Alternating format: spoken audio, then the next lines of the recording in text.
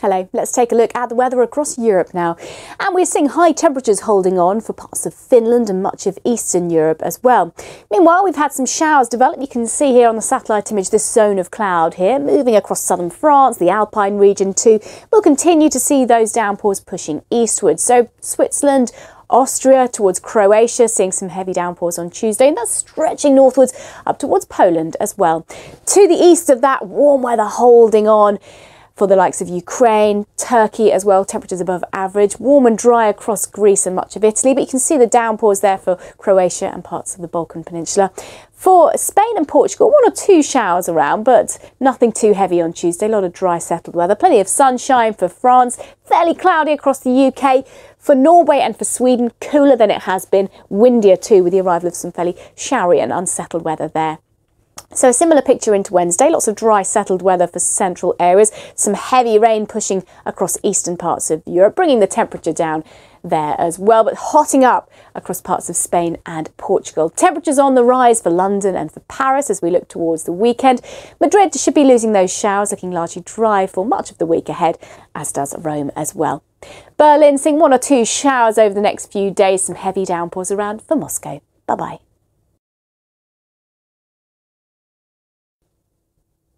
Hello. We're seeing a real contrast in temperature across portions of North America at the moment.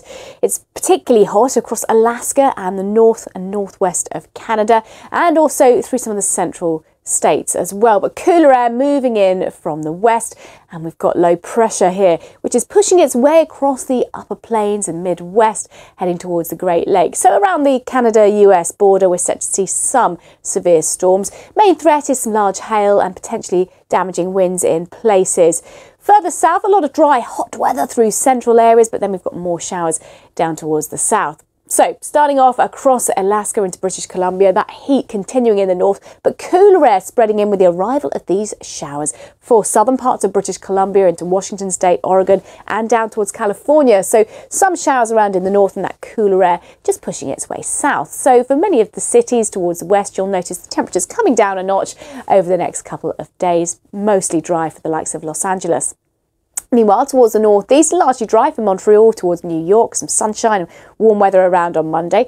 Further south, we're going to be seeing some showers for southern parts of the Carolinas, down towards Georgia, Florida, in towards Louisiana as well. So it could be the thunderstorm around there. So here's how things are looking, turning warmer in New York, some showers and thunderstorms in Miami. Bye bye. Hello. Hurricane Bonnie is in the eastern Pacific at the moment. It's going to be staying over open waters, but bringing some big waves and some heavy showers to southern Mexico. We'll have a look at that in a moment. Further south across South America, and we've got an area of heavy rain that's lingering around Uruguay through Monday into Tuesday as well. That's dividing pretty warm air to the north of that, temperatures well above average for Paraguay, to cooler conditions further south unsettled for southern parts of Chile with some heavy rain and mountain snow. And further north across the continent, we're seeing some heavy showers across parts of Colombia, Venezuela, and northern Ecuador as well. Largely dry through central and southern parts of Brazil, and temperatures above average here, and particularly for Paraguay as well. But then we're back into that area of cloud, rain, and cooler conditions for Uruguay and northern Argentina. Wet and windy weather further south across Chile. Rio de Janeiro looking largely dry and settled over the next few days. Buenos Aires also largely dry, and you'll notice those temperatures are going to be rising later on this week. Now here is Hurricane Bonnie sitting out towards the southeast of Mexico, still bringing some large waves around the south coast and we could see about three inches of rainfall over the next 24 hours or so for southern parts of Mexico. So some heavy downpours there and into parts of the Caribbean, more scattered showers building through the day. So the outlook is a fairly showery one for Havana for the next five days or so, but things stay mostly dry, I think, in Kingston. Bye-bye. Hello, let's take a look at the weather across Africa and the Middle East. And it's a little drier than average through much of Central Africa, but you can see on the satellite image we have got some shower cloud here, and particularly towards the west that is producing some bursts of heavy rain for the likes of Sierra Leone, Liberia, Ghana as well. Further south, a lot of dry weather down towards South Africa, but for Cape Town, a relatively cool air mass, so temperatures only around about 16 degrees or so on Tuesday, a few showers working in through the middle part of the week. North Africa, meanwhile, pretty hot towards Morocco, Algeria and Tunisia. Not as hot as it has been for Libya, though. So here's the outlook, and in Cape Town, then it remains fairly cool for the next few days. A few showers around at times, and then turns warmer once again towards the end of the week into the weekend too. Khartoum hot and dry with temperatures around the 40 degree mark. Casablanca seeing those temperatures picking up later on in the week. Now, across the Middle East, we've had brisk Shamal winds over the past few days. They're going to continue on Tuesday from the northwest, but not quite as strong. So the wind's tending to ease through the day, but we are still seeing some lifted sand and some dust as well. And towards Oman, some heavy rain for Muscat possible at times, just pushing in off southern parts of Iran. So we could well see some cooler and showerier weather persisting there. So Muscat, a little bit cooler, a bit more cloud around there, but warming up for Dubai, Riyadh and Kuwait. Bye-bye. Hello. The monsoon rains are going to continue to be heavy across many central parts of India over the next few days. You can see on the satellite image the massive cloud that we've got with us at the moment. The west coast also seeing plenty of heavy downpours and we could see some localised flooding, particularly for the likes of Madhya Pradesh, for instance, where we're seeing several days of ongoing heavy rain. So through Monday night and on into Tuesday, then plenty more heavy downpours. We've got that southwesterly wind driving in the rain around the west coast, also up towards Pakistan and across to southern parts of Iran as well. Some particularly heavy downpours here. It's been relatively cold across parts of Central Asia, but actually those temperatures moderating, warming up more typical for the time of year into the middle of the week. Some heavy showers across the mountains of Afghanistan, Pakistan as well, down towards Karachi, 35 degrees here. The temperature's a little below average across this part of the world with the arrival of that heavy rain.